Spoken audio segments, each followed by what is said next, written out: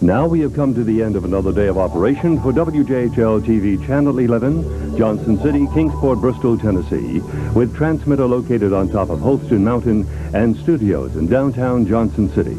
WJHL TV is owned and operated by Media General Broadcast Group. WJHL TV also operates mobile microwave remote pickup KX6204. We invite you to join us tomorrow morning. We shall present programs designed to please you. Speaking on behalf of the management and staff of WJHL TV, we wish you a pleasant good morning. And now, our national anthem.